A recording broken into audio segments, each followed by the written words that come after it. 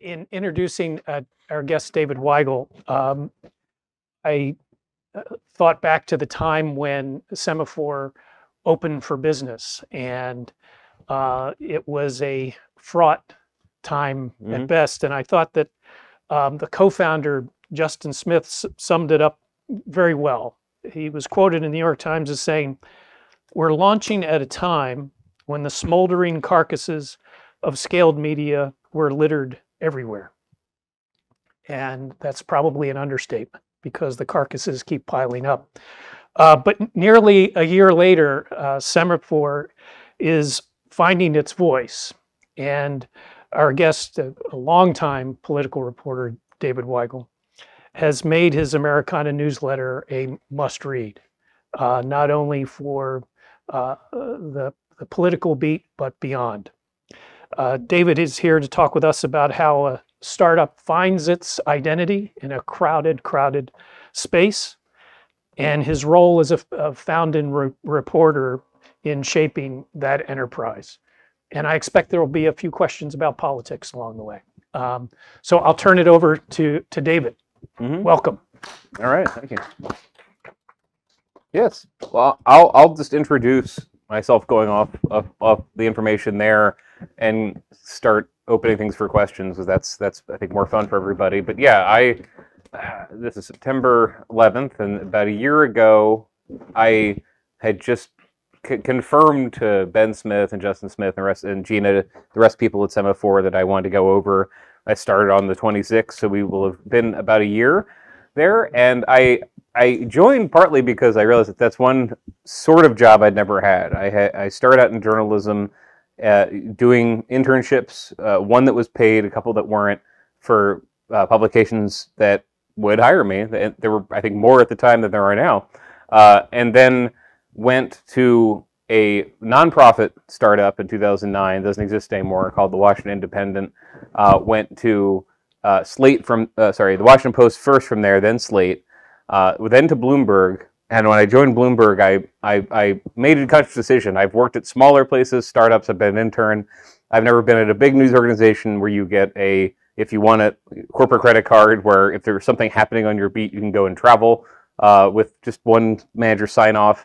Uh, it changed the way I did reporting. I, I became someone who not just was following politics around the country, but somebody who could go and try to get in, in front of whatever I was writing about.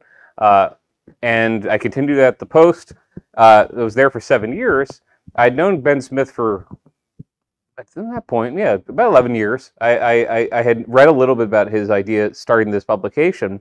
And it's, uh, it's a nice problem to have, but it's, it's a, it's always tough when you have a job that you like quite a lot and you, you know you have to write a message saying this has been growing great i could spend my whole career here however i'd like to try something brand new that, that doesn't exist yet uh, i didn't think i was the kind of person who would who would do that but i was convinced from talking to ben who had known forever from the other people who hadn't known it quite as well from some of the people they were hiring uh, that this was a rare opportunity uh, that you could start up a new media organization do what you were doing kind of get an acid test of whether people who've been talking to you were talking to you because of who you were, because they, they like the Washington Post name or the, or the Bloomberg name, uh, and then shape how that publication worked. Um, because we weren't going to just cover politics, and we don't. We cover uh, we cover finance. Most of the early scoops uh, uh, that that I think established the website were about the implosion of crypto, including one of the founder uh, funders, I shouldn't say, found uh, funders of the company, Sam Bankman-Fried. All his money was then you know cordoned off, do- donated back. Um, clawed back. They love that term. Uh, like I like it too. It's much more evocative. And but we were breaking news on a thing that that directly affected the the publication's bottom line and and and, and life. I thought that was exciting. Uh, in covering politics, I, I, I had been for years. I, I should say, 2015 is when I, I go to um, 14 is when I go to Bloomberg. I had for years gotten used to traveling the country for stories um, in a way that I thought would be helpful for understanding the story. So not just here I need a I need a backdrop. Uh, I want to get a couple quotes from New Hampshire. I'm going to go up there. But what is something interesting happening where I can do some research, meet a bunch of people, stay a few days, and write about it? And it was clear I could do that at this startup, and also uh, have the chance to uh, make the startup identified with that. And I think I th- if we have an identity in covering politics, it's very interested in breaking policy news. very, uh, I think, without fear, without fear or favor when it comes to covering Republicans and Democrats, and with access to, to both parties. Important right now because a lot of Republicans don't like talking to a lot of media. Uh, and also that we would be lots of places. Some, so we were not going to be a startup where you'd you'd see the headline and it would be aggregating something else. It would be we're there. We have something new to say. We we broke some piece of this. We have an exclusive interview. Uh, the basics, the stuff I always like doing, um, which I've been lucky enough to do at, at the Post and Bloomberg. Uh, so yeah, I, I, I left to get that going. It was exciting. Uh, I wouldn't even say scary. It was really after a, a couple a couple. I think the first thing I remember missing as a perk was just the expensing system, which does matter at the startup. Was twenty percent more convoluted and slow than the the post one, and I thought, oh God, what have I given up? I had that system locked out because, but I it, it, let me sort of recalibrate what did I find interesting because no. One thing about the post, or uh, more than Bloomberg, I'd say, is people will come to you with a story that might not be interesting. They just want to place it there.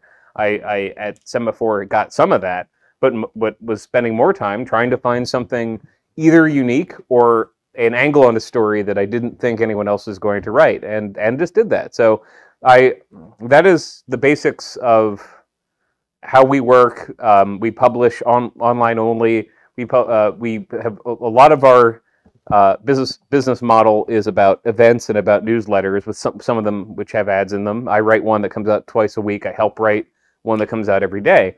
Uh, and I found in the last year, uh, I should court, chop up the months. First couple months or so, people wondered what it was was about. I mentioned the SBF thing that helped define it. I think negatively for eh, like a month or so, uh, and since then, I've I found this very points of my life. If you're just doing something like worthwhile and interesting, people will move on from the last thing they knew about and say, "Oh, I saw this really good story in that in that site." So we had this um, over, I think, four or five months into the, the website's life and existence, we noticed that it was get things were getting pick up. Um, the kind of pickup we cared about. We would have. I remember one of the first ones was we uh, did an interview with Mike Pompeo, the former Secretary of State, who was considering running for president. Uh, and we can probably get into how boring I like a lot of presidential campaign coverage can be because they get asked the same Trump questions, they get all this. We pushed him in a few different directions. Uh, he he went into a uh, a long digression because one of his focuses was was beating the teachers unions uh, state to state. Went a digression about how Randi Weingarten was the biggest threat, head of the American Federation of Teachers, biggest threat to America. I saw that get picked up. I saw people credit it, and I said, okay, this is the kind of there's there's several kinds of scoop. There's the one there's the one that you uncover from reporting. There's the one that somebody hands you, and there's the one that just in the course of doing your job, if you ask the right questions, you get uh, an exclusive, a scoop, the first quote on something from there. And I thought, great, okay, we're doing this. And that's that's been my ex- oh, experience for the last. That was in October last year. Ever since then, when things have hit in a in a good way, it's because we have a perspective and we have ac- not just access that people are handing to us, but we have access because of what we how we've been reporting. Because we we people came from the Post, people came from the Times, uh, people came from I'd say more left um, coded outlets than right coded outlets. But what we found quite, pretty quickly was that as new as we were, um, being new had advantages, and being not one of the big DC publications people had heard of had had big advantages in covering conservatives. Uh, there were conservatives who just did not want to talk to the Post at all. Had not because they had a, a, a, bad experience or they were misquoted. They just they just decided that that was not part of their media world anymore. Their voters didn't read it. They didn't care. The story would be framed in a way they didn't like. Um, and they did talk to us. And it wasn't that we were going easy on them. They just they just had a fresh, they had a, a, a new opening to people who were public were publishing what they said, uh, knew what they were working on, asked questions that showed we were interested, and that went very well. I found that going to a startup that doesn't have an identity at all until you join uh, does give you the chance to not just reintroduce yourself to sources, but reintroduce completely what your what your media company is. Um, because I, I've I've been in places, I've I've been part of the problem sometimes where people have a very calcified idea of what the institution is, what kind of story it's gonna it's gonna be. I didn't have the problems with necessarily the way things were, were edited or how they're framed, but sometimes sometimes you'd, you'd notice, the way that, that we put the story together was very cookie cutter. We put uh, the kind of one of these three swarms of leads we always do. These quotes are from people that we always that we always go, go to react quotes to. Going to something brand new and saying, "All right, new identity, new publication. This is going to be this is going to be done differently than the people that that you are tired of, of, of hearing from your Axioses, your I'm not trying to be negative about them, but just from the from the from the campaigns and the politicians and the you know, lobbyists perspective, people that they're like, ah, if I give them a quote, I know what's going to happen to it.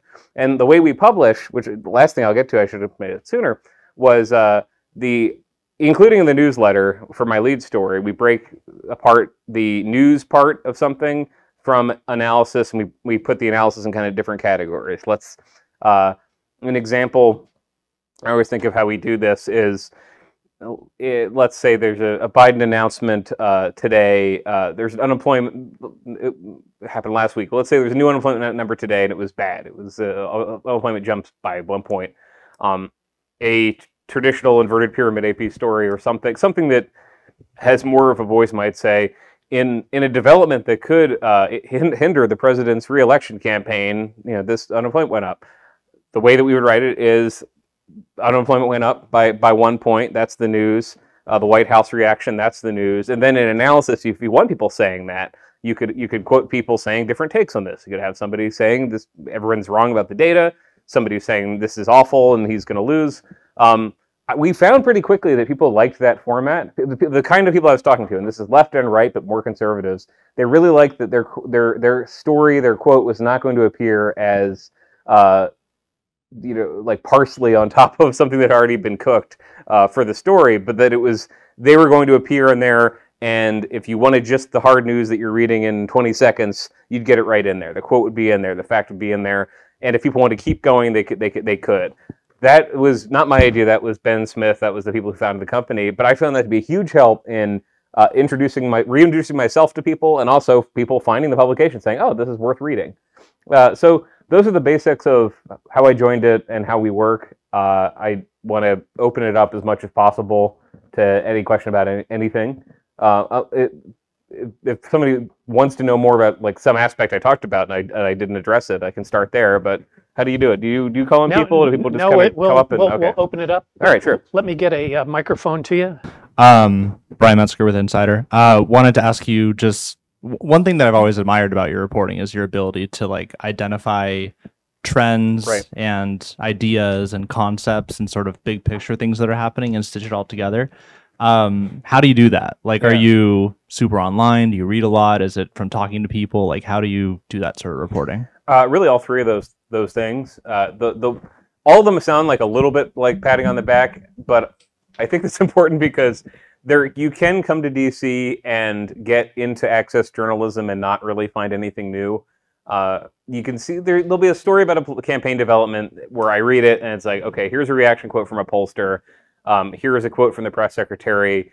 Um, there's no context about where what what this poll looked like last month. There's no context about what, what happened a year ago. I didn't learn anything in this from this. My thought has has always been, um, what what can this story contain that will be new to people? Uh, and that starts often with, okay, what can I write about that is going to be at least a little bit new? Because it's not everything's going to be new. I mean, there's I'm writing some stuff this week that is on campaigns or on books that have been written about, but I talk to more people. Uh, so it's a combination of that. So I try to. Uh, the hardest one logistically, just if someone was starting up, is just going to places and talking to people.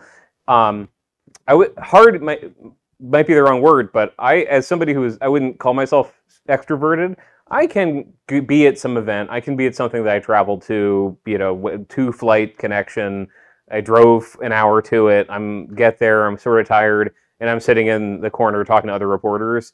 You just have to, I have to break that habit. Uh, I don't do a lot of just pure man on the street, like walking around in a in a downtown or a mall. I've done some of it, but most stories I'm writing about, people aren't aren't super aware of them at the moment. I mean, I found unless it's a presidential race, horse race, or a scandal, if I were to go up and start asking people in a like I this weekend I was in Virginia for these state elections, and if I were to go up to the like the a shopping mall in Leesburg and I asked them, "What do you think of state senate candidate Russet Perry versus Juan Paul Segura?" No one knows who they are. I mean, so I end up going to stuff where people are already politically motivated to show up. Uh, that's a certain sort of person, but if you're just talking to those people, you're already learning something, and it this happens a lot, especially with conservatives in the last eight years. A lot of people you're talking to won't want to use their names or something, and I try to just get some something out of every conversation, even if I'm not going to use the quote in a story. I'm interacting with people that I would not normally be colliding with. Um, but that's important. I mean, I had a moment when I was covering uh, Trump in 2016 at the Post where I, just had like a almost out of body experience where I, I, looked around.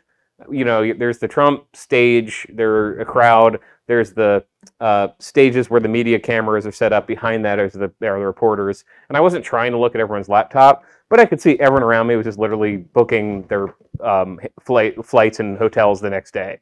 And Trump was talking. And I think this was a period of the campaign. I don't think this informed it, but a period of the campaign where people thought, "Ah, oh, he can't obviously win. What's the point of this?" But I looked around, and was like, why are we here? Why did we just come here if we're just going to like sit in this pen and book hotels for the next thing we cannot pay attention to? So talking to people is important. Um, staying online, there are different ways to do it. Uh, I've definitely screwed it up in the past, just been on TwoOnline getting into fights and getting into stupid things uh, that I didn't need to. Uh, like my current normal, my method of being online right now is uh, I have a bunch of tabs. I've just curated sites that I check for for for news that I'm going to find interesting. There's everything from like Daily Kos, the American Conservative. Just they're going to be publishing stuff, and there might be an interview with somebody I wouldn't have think, thought to talk about. And, oh, that's interesting. Or a couple pieces are on the same topic, and I wonder is there a trend here? Uh, and I have Twitter on my laptop, but not on my phone. I had it on my phone forever. Um, just I, I like I, I for the thing I just talked about. I like not having the distraction of I'm feeling socially awkward at the moment, or not socially awkward. More like six people just told me they want to talk to me, so I'm going to check Twitter. I wanted to break that habit, um, so I check. I check it a bunch. Uh, i have uh, my main account follows a ton of people. I've created lists. Uh, oh, it's called X now, right? Yeah, sure. Um, but I've created lists that, uh, for one, I have list of every Republican running for office, list of every Democrat running for office. Uh, my point of this, be, my point is, is, saying this: you need to just put in some amount of effort that sound that seems silly at the time in curating how you follow news. Like I did it over several days. I spent several days building lists of people, going to each website, pulling an input, and in six months, so that'll be irrelevant because people will drop out. But I would find, oh, okay, uh, I'm getting an idea from this this list I've curated because 50 Republican members of Congress are all talking about the same clip of Biden saying something uh, or and on the other side, or every Democrat is now commemorating this thing I hadn't heard of. I would just get some ideas from. You just need to kind of know where to look, but you have to curate how you're looking to it because otherwise it is just a bunch of a bunch of noise, a bunch of not just noise, but noise with um, the presence of people who know how to exploit uh, the the system. And, and I'll see this a lot. Why is everyone? Why is there a TV segment about this thing? It's because the RNC Rapid Response Team tweeted the thing, and then every member of Congress retweeted the thing. That changed the story for the day. Um, I, I feel more technical and thing, but you know what I mean. The, you need to have your own media diet so that if something comes in and it's clearly being pushed up, you can you'll see it, but you won't say that's the only thing happening today. And then for reading, I mean, yes, I, I I do that a lot. I'm very lucky. Uh, uh, that's wrong. We put up like my wife and I don't have kids yet, so we keep joking. Like there, at some point, I can't read as much as I do. I'm ready for this, but like, uh, I just do all the time. I always have. I um, I don't think I read. I like my ability to read is that much better than the average person who you know went to college and got into something that involves writing. Um, but all the time, I mean, uh, I, I if if there is a book, uh, for example, uh, there is a book Washington's going to be talking about you will find a lot of people. This Frank Foer book about Biden that came out last week, for example, you will find a lot of people don't read the book. Maybe they'll buy a copy, they'll get it signed, or they'll read like a summary, or they'll go to the index and see it. I just will take the time to read everything related to the beat that I can. Uh, if there's a decision, like uh, this happens a lot now, a lot of stories have come out of a court ruling some way on a state's transgender law or abortion law. Just read the the filing. Actually, people will try to like hide the filing and not link it in the story. Just know how to look up uh, the legal document and read it yourself. Stuff comes up to you. Same thing.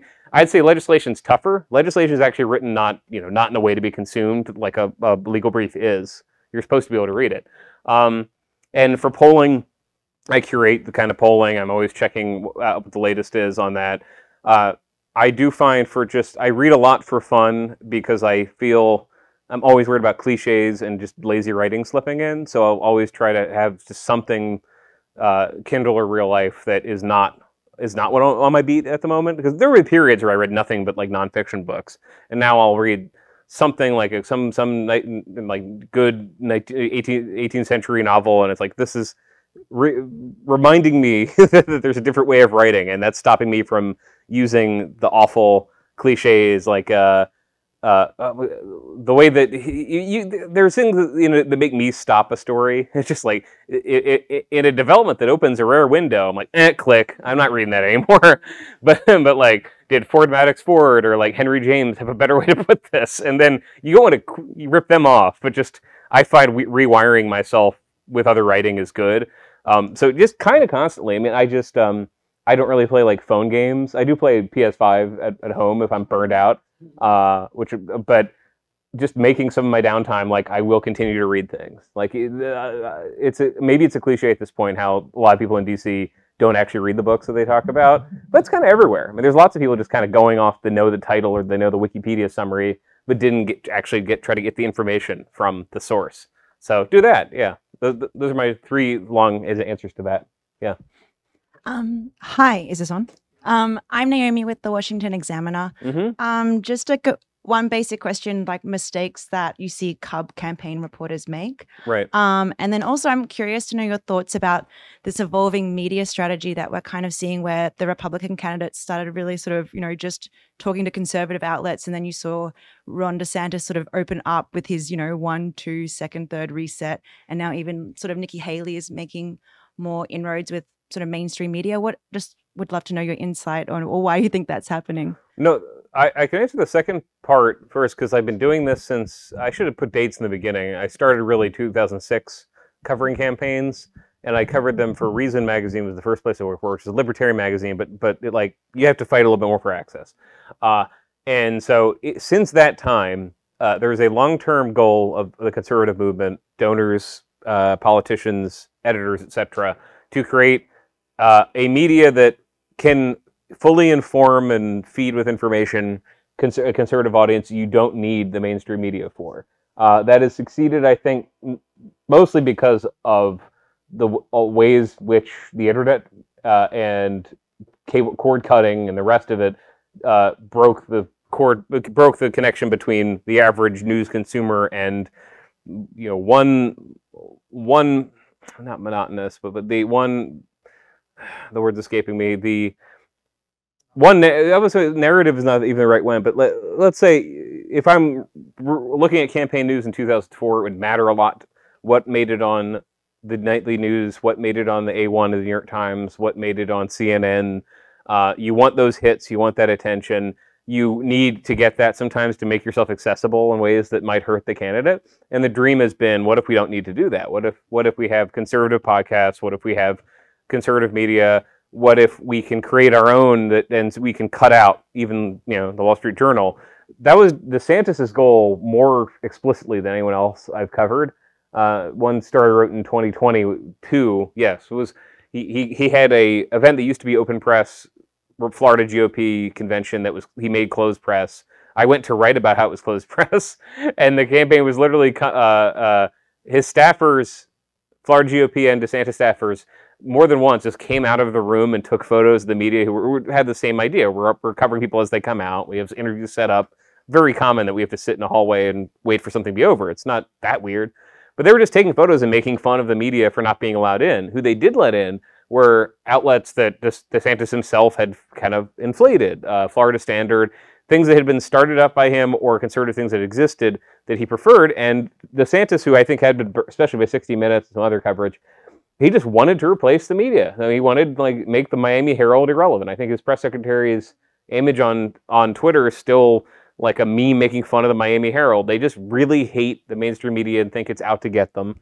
And I'm not saying they think that because it's wrong. I think they are they getting occasionally some uh, scandal-driven coverage that's not going to hold up. I think sometimes they are.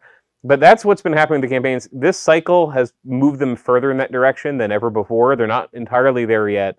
I think you found that with DeSantis that um, blowing off the media, the rest of the media completely, just isn't a good strategy. They're getting outplayed in better coverage, uh, worse coverage, I should say, than the Trump campaign. Uh, there's an old uh, Robert Novak uh, line, which I every time I use it, people in politics are like, "You shouldn't admit that," but it was Novak, not me. Like you're either a source or you're a target. You, if you're not talking to the press, they will write about you. they'll be talking to other people who are not you, so they can go around, do the job, and and and that's often part of the job. Hey, you're not handing me these documents. I need to figure something out. But for a campaign, if you're just going out there and never talking to the press, the press corps, never taking questions, and everyone else is, you could you can see your ability to get a message beyond the people showing up in that room and reading these websites, etc. It's not that great. And it, but what if uh, one of these networks has more positive coverage if somebody not that you're run in, in the, I think in the DeSantis case, like Nikki Haley's campaign, Tim Scott's campaign, we're just getting much better coverage than him. Here's actual coverage of what they're running on. Here's an interview on the substance of what they want to do. Once DeSantis changed, I don't think it's it's uh, moving the same track as his his polling. But once he did a few interviews, Jake Tapper, et cetera, they were fine. But it was already kind of curled because they wanted to replace the, the media. That is more than I've ever seen it.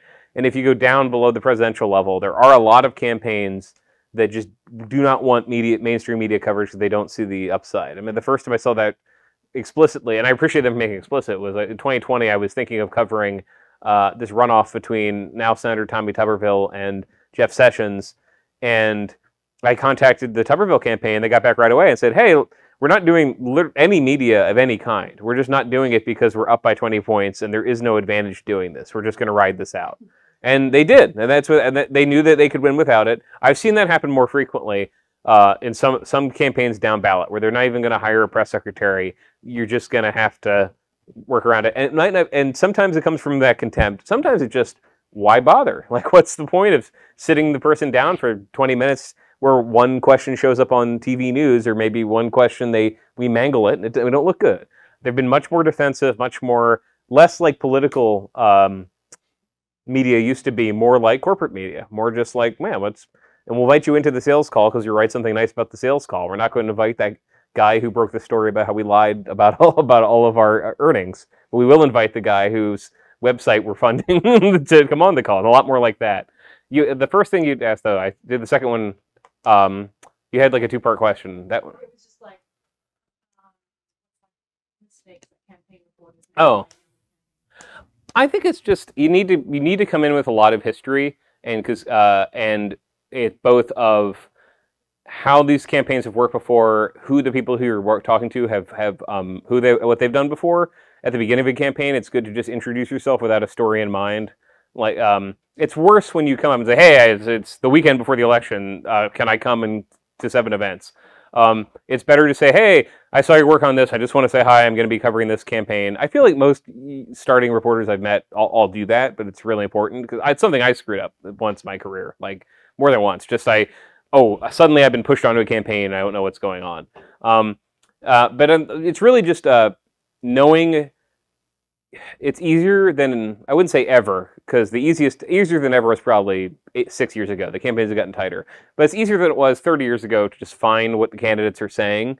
Uh, you could go to Rumble, you can go to YouTube. Like, what have they said? Who, what, what else have they said in interviews? What have they said when they've been um, at a local uh, party event or in a debate, etc. Uh, and doing that kind of research, and also just knowing the basics of polling. There's a lot of races where there's not going to be any polling.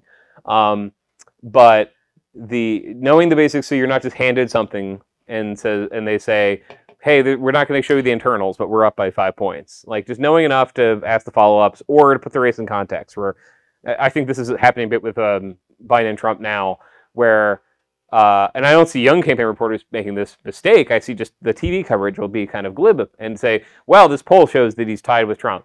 Well, okay, well, you can find a poll from this point in 2020 and 2012. Like the what there are reasons why these campaigns might have dipped in the past and they rise in the future. They have related to when they put money put when they put things on TV. It's like there's not one single piece of advice. It's just do a lot of research about um, the context of the campaign you're writing in. Um, and I find also uh, don't be afraid to ask like a, a question that sounds dumb to dumb to you be, uh, because the goal is not to be the reporter in the room who asks like the smartest question. The goal is to like find out something new, um, and and ideally make news, but just like find get new introduce new facts into the into the record. Uh, ask asking them things that you know they have dodged before, or asking them things they that are brand new. They just happened. I mean, one good example I had was just Ted Cruz was out campaigning for Trump in the uh, final month of 2016, and every every gaggle he was getting, you know, a pretty beaten to death story by that point, which was, uh, oh, you're you're campaigning for Trump, but will you endorse him? You know, because he, he was making a big show of not officially endorsing him because he because of various issues in the primary. And the one I just asked was, uh, hey, so if if Hillary wins uh, and she nominates a Supreme Court justice nominee for the Scalia seat, would you like allow a vote on that?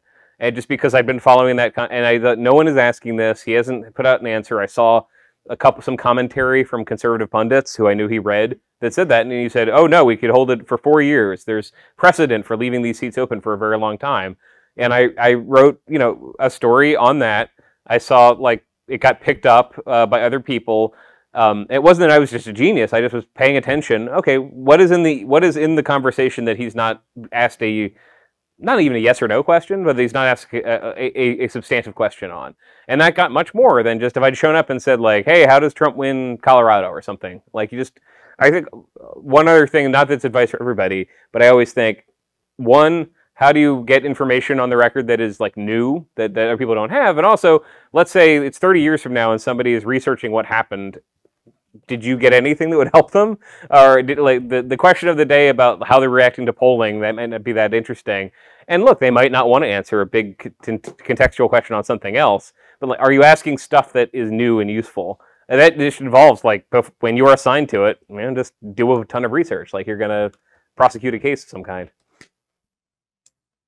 Hi, uh, Mhm. I'm Minnie Raker with Time Magazine. Mhm. Um, you were one of my favorite reporters to read, I think, because of like the uniqueness of your work Oh, and thanks. also that you talk to kind of interesting, different people, Mhm. outsiders. And that's what I would like to do. But that's kind of intention sometimes with pressure from like editors to write about whoever's in the news that day or the inside DC baseball game. And Right. so I'm curious like did you ever run into that pressure? How did you make that case to your editors and then how do you connect it to like something that's going to get views and an audience? Yeah, no. Sometimes you write about something and it doesn't get an audience. I mean, I, uh, I, I had, I had an interview with Mike Pence a month ago. I think it was right before one of the Trump indictments, and I didn't promise them I wouldn't ask about the indictment, but I, I think I had one question about that, and the rest were just things I wanted to hear him answer. So I'm keying off what I less said. Not that Pence is like a outs- in this race he sort of is. Like Pence is not the story of the day every day. But when he is, it's some kind of Trump thing. So I was like, all right, well, this is interesting. What can I ask him that's new? I asked him about like the the, the writer's strike. I asked him about a, a bunch of like a bunch of things I had not seen him comment on that I thought like former vice president worked for Trump and can speak to what the administration did. Interesting, and like, it just didn't do very well. Like no one, so so my editors didn't push back. They weren't angry. They just were saying, yeah, you know, it turns out that asking about the news of the day would have gotten more traffic than that got. Um, you can kind of share it online, the the parts you find interesting, but getting some the reason people are asking a lot of uh, can you know react to the latest Trump thing that he said is because that gets sound for them talking gets on TV when asking about something else might not. Also, a lot of times you're in a gaggle with three you know 50 reporters and they get three questions. Tim Scott especially. And him dodging something is going to make news, and him him dodging that question is going to make news. Him answering your thing might might not. Um, but when it comes to just the larger world of of of, poli- of politics and how you reach out to people, um, one I find the nice thing about people losing faith in the media is that they're very often very surprised when you do reach out. I mean, I'll talk to somebody who's I think is going to be deluged in requests they're getting because they're you know uh, moms for liberty activists that are that every every time they're mentioned in the media they're they're they're they're uh, pilloried and I'll email them and say here's my story uh, one thing I do too is um, I don't like give people quote approval, but uh, I always tell them like, and I'll like before I'm using it, I'll like send it back so you know what it is, so it's accurate. Um, which I, I didn't do my whole career. I've done for like the last five years. That's very helpful. Um, but I find a lot of people who uh, who are interesting and have an interesting story will respond and say, "Oh yeah, sure, I'm I can find time," and you get you get something new. I um for something off the be- beaten path, it's it's very you kind of there's no 100% way of telling if it's going to be relevant. if you're going to some cattle call where there's 20 candidates, then yes, you're being there. You're going to get a story that was off a thing that really happened. On going off the finding other characters in politics, I think it's just reaching out to people at that at that level. And uh, honestly, one thing that was very helpful for me over my whole career was I covered the Ron Paul campaign very closely in 20, 2007, 2008. I covered the Tea Party very closely, and there were people in the Tea Party movement who um, it wasn't that people were not quoting them; is that they would go, they'd try to get the quote from some pollster or Sarah Palin or somebody somebody who was a big bold faced name or somebody who had expert appeal uh, or expert cred- credibility on their resume. And I would just try to reach out to these activist groups and, and talk. And I wasn't trying to make people look bad, but like they'd have a real quote and they'd have something interesting uh, to say uh, because a lot of people weren't coming out and talking to them. Or if they did, they were getting cut. I mean, I was whenever I had frustration with a story being edited, it was always I'd get some of those local voices cut out so that some of the national voices could be put into it. And I never, I, I, I found, yeah, there's an audience for that. Um, but I had to kind of fight more. Like, no, no, no, you see, this activist is, is, nobody knows who he is, but he's been on the ground on this for four years and he has the story. Like, you just have to, it comes from the reading and finding out what they're all working on. Um, but it's just a matter of like reaching out and sometimes you will find like I've had interviews where I thought it was promising and then just was kind of dull, it was kind of a dud or like I didn't ask things that got good answers. Um, but the the pushback if somebody says why were you doing this and not uh, a Trump arraignment thing is uh, up to you. Uh, for me, it's often been I think we're going to be talking about this in a month. I always I often uh, will look at something and say, hey, I'm noticing something that I think will be in the bigger in the conversation later, and if we got, talk about it now, we're going to be way ahead of people. Um, that's not always right. That's that's failed sometimes, but this year I've had pretty good luck with that. I mean, I I did a piece a month ago, uh, just watching a lot of town hall meetings that Republicans were having back home. Uh, again, stuff anyone had access to, like they put them on Facebook Live, and I noticed how many were getting questions about impeachment and saying, "Yes, well, here is how we should impeach uh, Joe Biden." I wrote it, talked to the White House, wrote about it and I, I, got some like pushback from people saying, "Why are you doing this now?" And I said, "Well, because yes, nobody's like rushing to quote this third-term congressman from Texas the way they're quoting Rudy Giuliani or something."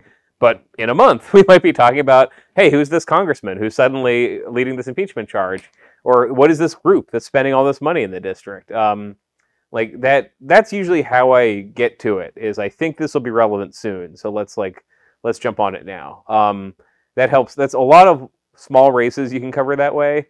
Uh, and if somebody's skeptical um, about about the meaning of, it, I mean, I, I, did Ohio's referendum on on abortion. That wasn't that hard of a sell, but it wasn't getting talked about that much until it until vote happened. And I remember telling my editors, I think after this this from my reporting, this looks like this is going to fail. It's going to be the latest pro-abortion rights victory, and I think if we're there like two weeks in advance, we'll be really positioned to tell a good story, and we were. Um, so, but my experience has been very nice thing about a startup is is there's not really much pressure. Like drop what you're doing and cover this thing. It's the opposite. There's not much interest in saying let's pay everyone to go um, to the same media event that everyone else is going to be at and write our own version. You write some, but our momentum's the other direction. Is like, everyone's going to be covering that what can we cover that's a bit more unique that would get us like a week ahead of them? Yeah, that's usually how the argument goes. But I, it's not for us. It's really not an argument. It's like if you have a choice between covering a Trump rally or talking to like the Heritage Foundation president about their Trump plan to staff the next administration, that did very well. People are aware of it, but that wasn't the story of the day. We just, I think, we're correct that hey, you might look back in a year when there's a transition team and all of a sudden all these names you've never heard of are on the transition team, we will have known them already. That's usually how it goes. Just we'll be ahead of the news if we do this. Um, hi, my name is Christina. I work for CBS News. Mm-hmm. Um, my question is kind of like a little bit related to um, something that you just mentioned, and um, I've been covering the campaign trail for the past few months, and something that obviously, given everything that has happened with Trump and his four indictments, um, well, a lot has been, you know, mm-hmm. all all of his indictments and the reactions of all of his mm-hmm. opponents, and uh, as a as a reporter, one of my concerns is is that obviously I'm not saying that um, uh, everything that is happening with him and his cases are is not important and that we shouldn't cover it because definitely we need to cover it and democracy is at stake um, but i'm just a little bit concerned about other important stories that are not being covered Mhm.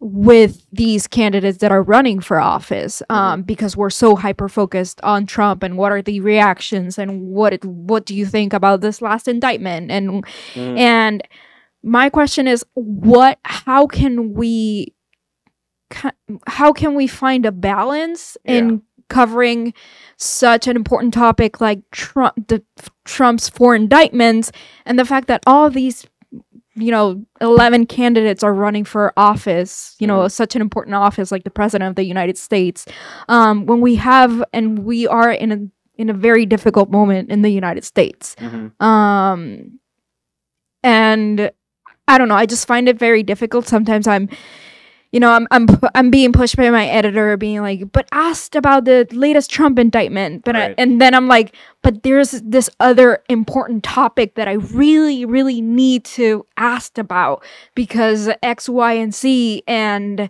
there are a lot of other issues happening that are at stake. And like i don't know i'm just sometimes in conflict. And even when i'm pitching stories for example they they just prefer the trump story Right. versus the other story because it's more likable um and i'm like i get it because trump is trump but there are other stories that are very important as well No, I. Uh, give me a little more context. So, this, like, is this where you'd be like you'd be emailing a campaign with a question, and they say you want to like a spokesperson or an interview with a no no candidate? no no or- no like more internally um Oh, okay. I'm thinking because let, uh, I'll, let's say it's CBS special will get people on camera, um, and maybe you have. and I, I guess everyone here i don't know if Yeah. ev- if people can relate on like their media outlets Yeah. that everything's like trump um and i get it i mean i'm not saying it's not important because it is, No. but how do you how do you also cover other important topics that are happening right. um that you need to ask these folks um that are running for office um when obviously these people that are on the trail have like five minutes to gaggle and you have like 10 reporters Yeah, yeah. you That's need to was- pick that's what I was one question um but you have your editor and be like ask the trump question like you know um That's what I was. That's what I was following up asking because uh, no, that's the trouble. And um, I've been in many this cycle. Gag, everyone knows what a gaggle is. It's funny. I just realized it's one word. Like sometimes I get asked by people who are not in journalism. But yeah, candidate stops. They got time for three or four questions. Uh, Tim Scott's people like to have somebody kind of pointing to the reporters who are Yeah. asking it. Um, some of the Pence actually doesn't. Pence will kind of take anything. Um, Trump does not has not gaggled. He'll do kind of a tarmac thing for a couple. Um, but yeah, so you have that's a that. Yeah, he did get. Oh, he did get do the CPAC gaggle, but I'm think, but since the indictments, he's done very little of that. He's not. He's like done like he yeah he gets out of something and then takes the questions. But kind of does a statement and that's it Yeah. So, like, no, but for that in that particular situation, because it's it's the same thing covering the hill. There'll be a bill moving through the hill, and you want to ask for something else, and you'll be the person who's like, I'm, "All right, 180 degrees away from that. Here's something that's not a headline today. Can you talk about this?" Uh, in that situation, it's tough. What I've gotten material from is if it's a non-Trump candidate, I'd kind of asked how they, as president, would implement like a policy. Related. So for all of them, um, the uh, the way Trump wants to like in re- people he wants to lay off, the number of employees wants to fire inside the DOJ. The, the very the very explicit idea of just we need the DOJ to be overhauled and get rid of the Trump appointed director with new people who are going to go after certain uh, going to go after his enemies basically. And so I think if it's a Trump related question, I try it can be helpful to bring it to okay, you are also running for president. How would you govern? How how would you approach this part of the job? Uh, I mean, one thing I think where I forget what story it fit into, but I, I was writing very early on about candidates c- coming out for using uh, special forces and drones to attack cartels within Mexico, and I and that wasn't that was more of a that that was a thing where if it came up at all, I'd try to follow up and get people on the record and see where they would take it. Uh, and it was interesting. I mean, in Iowa, that was I it wasn't my question, but DeSantis uh, was more explicit in saying how he would use it. He followed up with um, some other candidates, Haley and Hutch- Hutchinson, and they were much more careful about saying we'd have to work with the Mexican government. But just like sketching out how they would govern and use the power of the presidency that's different than, than Trump, um, that can be helpful because the most interesting answers to Trump legal questions have been, I think, one in some cases, would you pardon him? Um, but would you also get rid of the FBI director? Would you uh, would you, you know, continue the investigations of Hunter Biden? I mean, some of the things I asked Pence in the interview that got no traction was whether he would continue the Jack Smith investigation, whether he would, if by Hunter was convicted, if he'd pardon him, and he didn't say no to either of them. Those have been interesting. They're about Trump, but they're okay. Imagine it's you as president. What would you? How would you? Beyond whether he's president or not, your vision of how this how this should work and who it's accountable to. What is it? Um, but it is tough when there the weeks when there's a Trump indictment. It's tough to get anything else. Other weeks, um, I find it's not that. It's so candidate to candidate. If you're just talking about the 2020 can, 2024 candidates, like Haley's campaign does not gaggle. She does uh, statements. She usually does a Fox hit off the statement. She's done more media recently. Yeah, Um, but she doesn't. She usually doesn't release statements regarding Trump. No, she will try to take the topic to something like uh, she wants to talk about China this week. So she'll, she'll the statement about that, or the statement about parents. You can make news by uh, following up on a couple of questions about okay, so and actually this is where Trump is helpful. Trump actually has more detailed uh, policy prescriptions for how he would govern again than anybody else running. And every time I every time I say this, people are in disbelief. But no, you can go to the website. You can talk to his advisors. Uh, they have ideas for how they would um, from everything from like environmental policy, gender identity, abortion. And abortion's the one exception.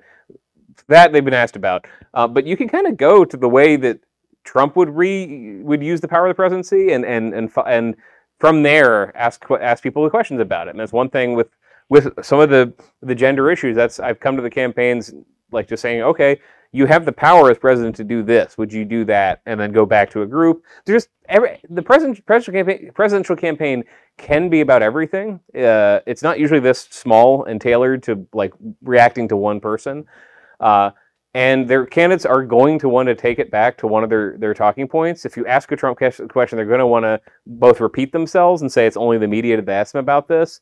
So knowing that, you can be like, all right, well, so you do this. Like, why should Chris Wray be fired? Like, this is like a good follow up.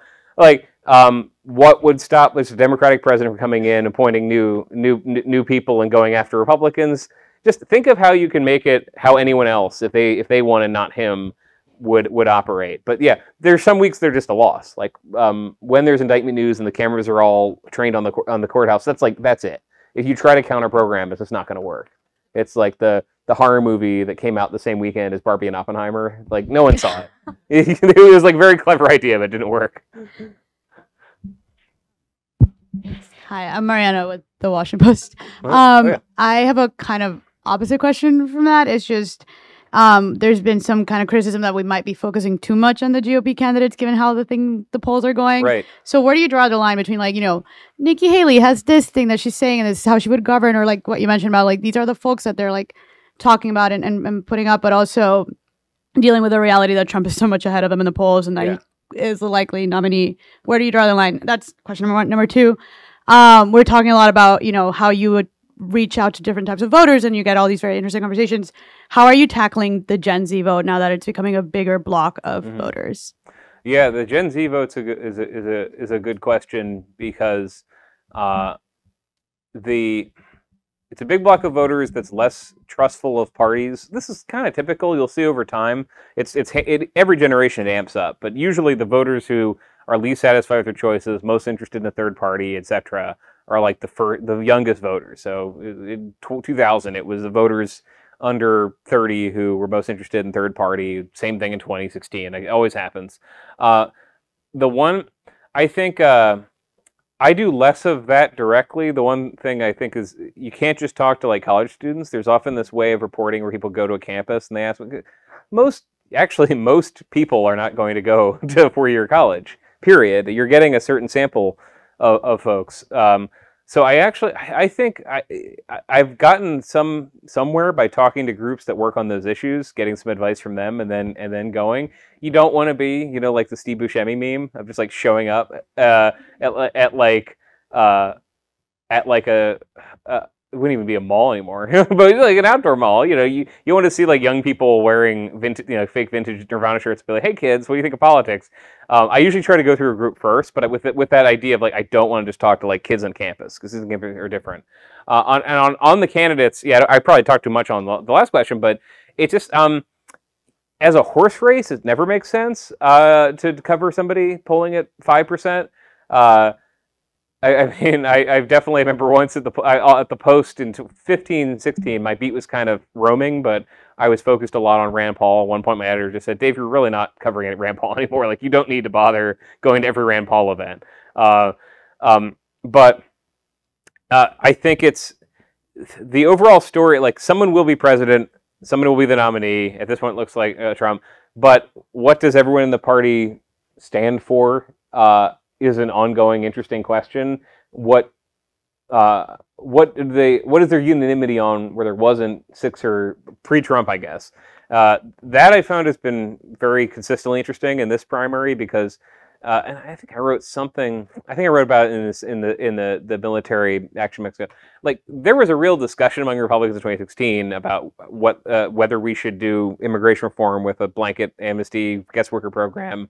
There was a lot. There was opposition to building a border wall from Jeb Bush, from uh, Chris Christie, from a few other people. Nikki Haley criticized a border wall. So when there's unit, all of a sudden unanimity on these things, I think that's the root of an interesting story of everyone has moved on to this topic. In in 2019 with Biden, it was on abortion. Um, the fact that uh, Biden, because he was a different kind of front runner in that point, he was a couple points ahead, but not like 50. But still, it was a really good substantive story about how he was pushed on abortion, where he had been, in that point, the outlier in the party of saying he supported the Hyde Amendment, then he dropped his support for the Hyde Amendment. Uh, how would they use the, the, the like the story? Let's skip a year ahead. It might be Trump won the nomination. It wasn't even that close. Uh, what was the point of covering any of this? I think getting just people on the record on issues that will that will be relevant when he is if if, if Trump is president or relevant beyond then. It's just it's just useful. I mean, if the if the next class of Republicans who then will be angry for 2028 all agree on for uh, all agree on uh, universal school choice, or all agree on building a border wall, or lowering the number of asylum seekers, or climate where there's actually some interesting differences. Like, Getting that on the record, you can find out. Oh, eight years later, I'm really glad that somebody asked this person what they thought. Um, because you look at the story, it's like, yeah, you know, if somebody had just hadn't quoted this town hall where this person had a 100, 180 degree different position, we would never know. Um, so I, I think in covering the other candidates, it's it, they don't like the Trump question. They actually, frankly, use the Trump question as like a dodge to not do media. Uh, they overlearn this lesson because Glenn Youngkin dare, did barely any media except for TV set interviews in 2021. They all said, "Oh, that's the way you do it. Is they're all, all going to ask about Trump, so starve him out." Um, but if you don't want to, you can just be getting them on the record, like, "Oh, and Trump was president. He has a record. You can get them uh, to say whether they would abandon this, would they reappoint this person. There's a lot you can do, even if they're not going to be the nominee, because then, for all you know, Vivek Ramaswamy, will he be the nominee? Doesn't look very likely right now. Will he be up for some cabinet position? Will he be founding a business after it's over? Like getting him on the record, getting him on the record on his vision of government in any format, I think is is just is, is going to be helpful to somebody at some point. All the interviews Pete Buttigieg did. Um, like I don't know what his long term future in the party is, but having all that, all what Kamala Harris stood for and how she's changed, like um, the what the people who are still relevant, you get them now because they they're uh, yeah, that's it. Basically, I'd say just asking them stuff is helpful, even if they're not, even if it's going to be somebody who might drop out like within you know a week of Iowa. hmm Oh, already. Um, maybe we're retreading ground we've already covered with this question, but I you brought up Vivek Ramaswamy and Yeah, like yeah. he's a he's I don't know he he really sticks out to me as like someone who's running this cycle who truly is just like doing it for kind of like yeah promotional reasons, Mhm. um, kind of just off the cuff like Mm. whatever. Um, I think it was Matt Yglesias that talked about his sort of boomlet as being the product of bored journalist syndrome. Yeah. Um, so I guess I'm curious, like, kind of specifically about him. Like, how do you think of him and that type of candidate, and how you cover them? Yeah, we covered at Semafor him pretty early. We did an interview. I'd say he was in the race for like. Uh, I remember thinking, "Oh, we're late to it," because Politico wrote along with him before he launched, and I thought, "Oh, I wish we'd written that." We did pretty early. One thing I thought was interesting uh, with him is we did we we talked about a number of topics. Again, I, he's written three books, so we didn't need to go over everything, but you, we can go over inc- inconsistencies. What he said, which has started to happen. Um, but I remember at, we asked him uh, a, a gender question, uh, a couple of gender policy questions, and he just like didn't have an answer. Didn't really wasn't really interested in talking about it. You can't tell. And then a month later, he jumped on top of Bud Light and all that, and now he's he's it was very revealing to us as a, as a coverage, and also um, I think as a reflection of what the Republican base wants is that the more he went out and campaigned in Iowa and South Carolina, New Hampshire, the more he was saying, "Okay, I'm going to start saying this is a mental illness now. That's that's my new that's my new uh, my new policy is saying this." Um, so I I think you have to be careful with that sort of candidate. Uh, the coverage, I actually think coverage is pretty. Like I'm thinking of the Times coverage Jonathan Weisman, some other people did of what is he saying? Why is this catching on? If it's not catching on at all, that's the story. There was a good me- messenger story um, over Labor Day about about Pence in New Hampshire, where it was just following Pence around and noting how few people were showing up and how most people showing up didn't want to vote for him. That was useful, I think. The story of the Mike Pence campaign, even if he doesn't get anywhere close, even if he drops up for Iowa, is just new and useful. We've never had a vice president running against his former president, certainly not when they've been this much in disagreement before, uh, ever. Um, and it's not like horse race coverage. It is just we are following this guy around as he deals with other things. We're looking at how he's he's carved out a more conservative view of what the party should stand for. Everything from from actually you know cutting back Social Security, Medicare to uh, one promise he made. It wasn't me first, but I kind of followed up on it. Was he would only appoint pro-life cabinet nominees. That stuff is interesting, uh, and and also talking to the the groups in politics, you have to be kind of careful. Which group is just like a letterhead that doesn't have any clout? Which one's real? But when you talk to the ones that are out there in the groups, uh, the people, the Heritage, everybody there, Susan B. Anthony list, uh, the groups that these people, um, I was about to say patronize, the ones that they, they actually talk to. They have access to the candidate. Uh, they often are using the candidates who are not Trump to get something else out there, using a, little, maybe a little bit determinative. Um, but for Susan B. Anthony list, for example, is a good example is a good case here they would like Donald Trump to sign a pledge saying uh, or promise to ban abortion after 15 weeks. Uh, they have not created a pledge. They have not, uh, be, partly because Trump doesn't feel like he needs to. Uh, but I think the coverage of what they're doing and trying to get people to do that, of Nikki Haley showing up and not doing that at all, of, of, of what they're trying to do and, and how the conversation they're trying to have is, is interesting. I mean, and in Congress, there's just a lot of stuff that uh, interesting members of Congress are going to introduce with a thought behind it, and it's a great as a as a policy discussion. It's it's interesting. I mean, uh, the conservatives who believe that we should copy some policies from Hungary and make it cheaper and easier to form a family with tax benefits, or I'll ask people about that. I mean, I ask if you ask candidates or pro-lifers about that. Um, not out of the blue, just kind of like talking to the campaign, uh, or if you hear that they met with somebody who deals with it, those are good stories. And if, if the story is hey, this candidate polling at four percent um, has this idea.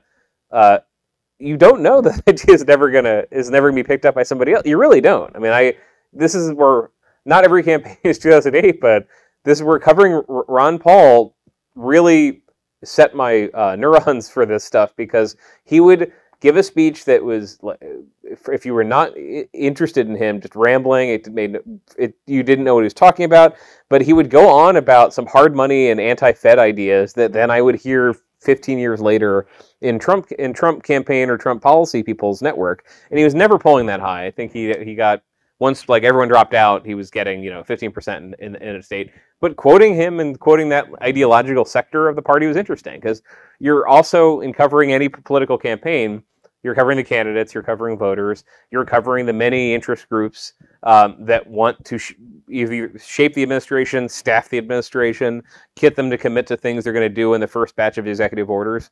Like covering left wing groups that were for Bernie Sanders but lost was still useful because if you kept in touch with them, if you kept in touch with Sunrise, with uh, uh, the anti-monopoly groups, you got like a sense of what they were going to sign the first month of um, first day. Really, they, they ended up having an action plan of executive orders, and that was useful. Like it was, um, but you, you can't like drink in everything. And I don't think it took, took the idea that I, I'm saying that there's gonna there are groups that are just pushing stuff out that's like no one really supports it. It's not useful. Um, but you have to stay in touch with them, and maybe they're only going to get five candidates who are not Trump to agree to something.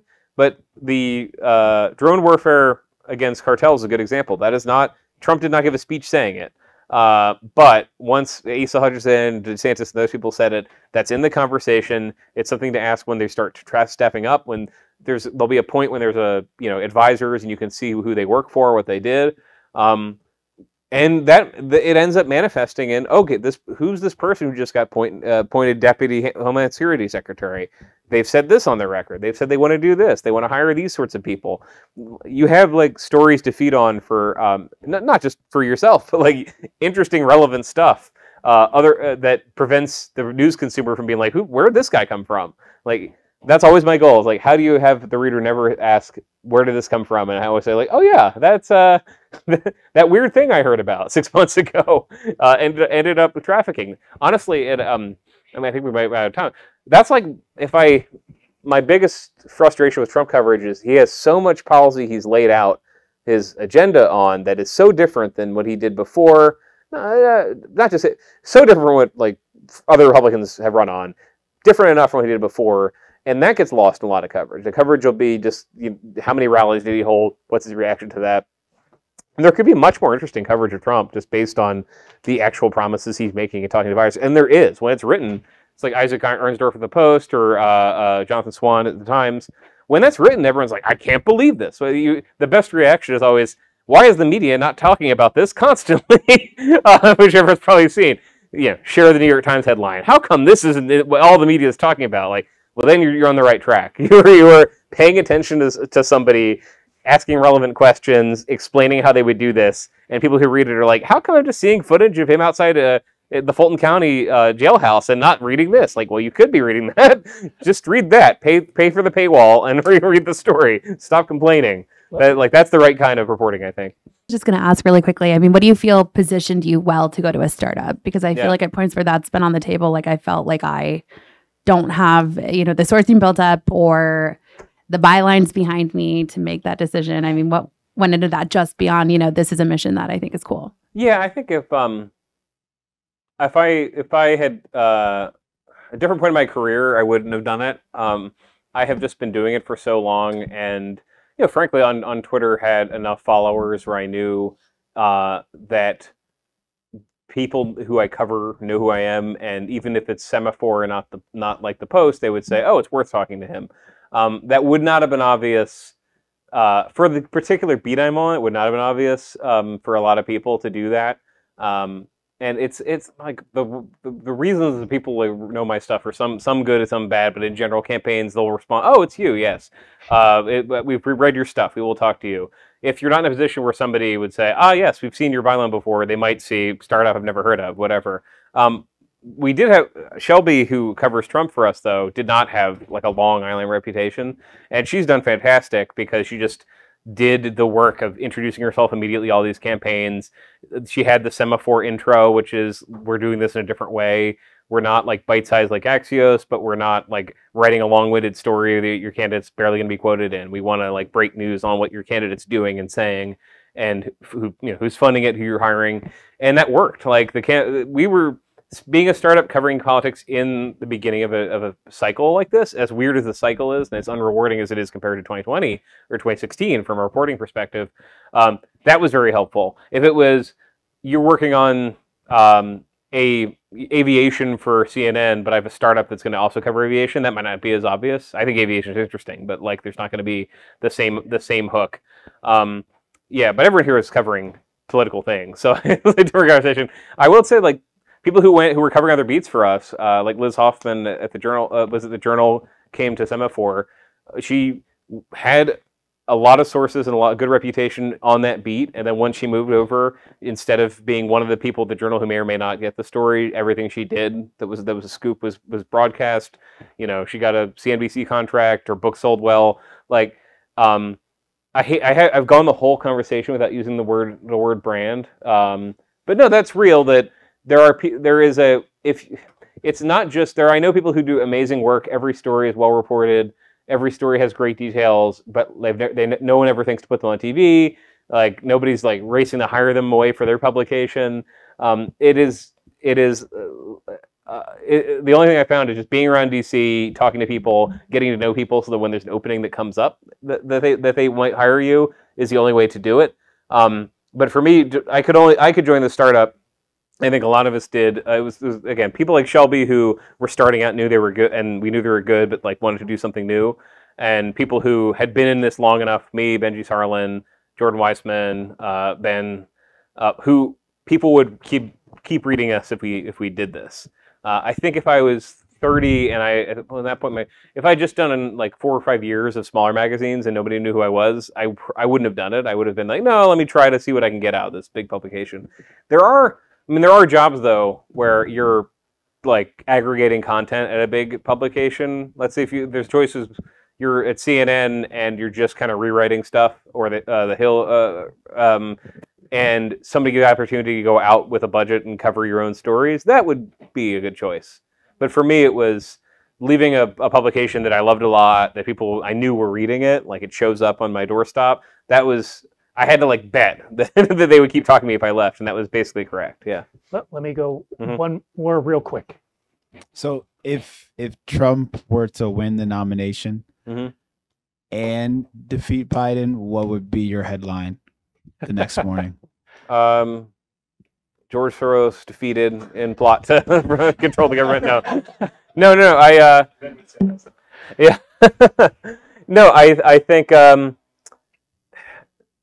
are we thinking like a long times headline where you pack some stuff in, like uh, uh, Trump? Uh, you I think you the story would need to include Trump who tried to overturn his defeat in an unprecedented manner for our president.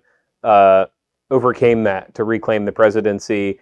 Um, uh, get you'd have to get this is not the headlines. I'm not good at writing headlines, but you'd have to really get in. Like it wouldn't just be wow, look at how shocking this, success is. Get into like all the things he said since he left the presidency. Not all of them, but uh, Trump, who had left the presidency. Um, uh, with this unfinished, this has has promised to act immediately to finish this border wall. You'd really want to say in this you need to build up the situation of not just a guy won the presidency, but somebody who has been president and who has a gigantic agenda of both policies unfinished and revenge. How he would do that, and I think would be pair, paired with just some feelings on the ground from all sorts of people who, because an attitude that that's out there is that um, if if America were to were to elect Trump after all this, it's just you're never going back. It, like it'll always be the country that elected the the former leader who tried to overthrow the government. You'll always be, um, uh, you know, uh, I want to make a comparison to like say some other country that's famous for bad governance, but it would be the kind of thing if you described it, the, the old uh, rule at, at Slate, uh, George, Josh Keating's thing. If you could write those headlines and coverage for like ha- something happening in, in Bolivia, I think everyone would know how we write about this. Like, oh, what's wrong with this country? They elected the guy who went to who was almost in jail, who's going to pardon himself. Like, I think it would be good to have that concept in mind and not just write a glib. Trump wins, huge comeback. It would have to be tr- Trump, Trump with with, vigi- with yeah. I feel I feel like that wouldn't be the right way. That would not cover the gravity of it. I feel like, but if, if it was like he didn't win and it was Nikki Haley gets elected, you know, that would be a different story. Republican uh, with you know, first female president, uh, Republican, uh, you have to get into agenda, but it would be that would be easier. Like nation elects first female president. I think that that, is, that one's short. I can do that. Trump would be. I can only think in like the Times headline with like three commas. like you need to pack a lot into that. Yeah. Well, the the questions and the discussion uh, underscore the need to bring David back again, and soon. Um, but it was it's been fascinating. Oh. And we don't want to hog your time. Uh, you've been extremely generous, and uh, thank you very, very much for Yeah, of sharing, course. You know, your expertise and uh, and knowledge with us. So, thanks very much. Thank you. Thank you.